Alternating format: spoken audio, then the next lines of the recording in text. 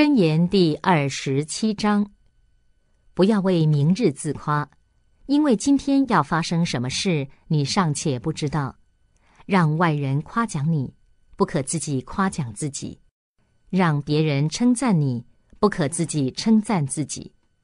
石头重，沙土也重，愚妄人的怒气比这两样更重。烈怒虽然凶残，暴怒又好像狂澜。人还可以抵受，但面对嫉妒，谁能站立得住呢？坦白的责备胜过暗中的爱。爱你的人加的创伤是出于忠诚，恨你的人却与你连连亲嘴。吃饱的人连蜂房的蜜也厌恶，饥饿的人连一切苦的东西都觉得甘甜。离家的人到处漂泊。好像离巢的雀鸟到处游飞一样，高油和香料使人心畅快，朋友真诚的劝勉也使人觉得甘甜。你的朋友和你父亲的朋友，你都不可离弃。在你遭遇患难的日子，不可进你兄弟的家，在附近的邻舍胜过在远方的兄弟。我儿，你要做智慧人，使我的心快乐。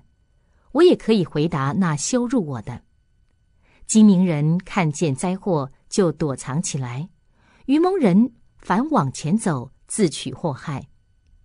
谁为陌生人做保证人，就拿去谁的衣服；谁替妓女做保证人，谁就要做担保。清晨起来大声为邻舍祝福的，就等于是咒诅他。下大雨的时候不断滴漏。就像吵闹的妇人一样，谁要拦阻他，就像拦阻风，也像右手抓油。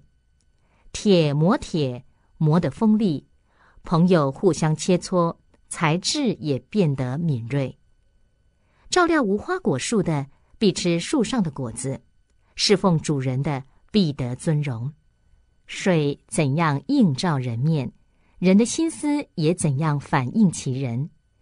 阴间和灭亡不会满足，人的眼目也是一样。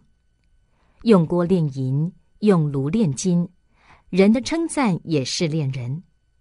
你虽然用杵把愚妄人与碎骨一同倒在臼中，他的愚妄还是离不了他。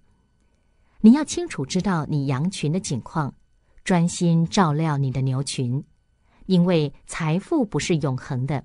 冠冕也不能存到万代。干草割去，嫩草又出现，山上的野草也都收集起来。羊羔的毛可以给你做衣服，山羊可以做买田地的价银，山羊奶足够做你的食物，也足够做你一家的食物，并且足够维持你众婢女的生活。